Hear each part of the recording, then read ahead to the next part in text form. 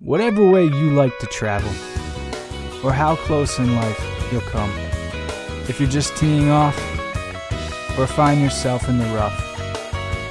Whether you're just kicking it with the boys, or just trying to break the ice. Whatever you enjoy doing in life, do it with a Yuengling.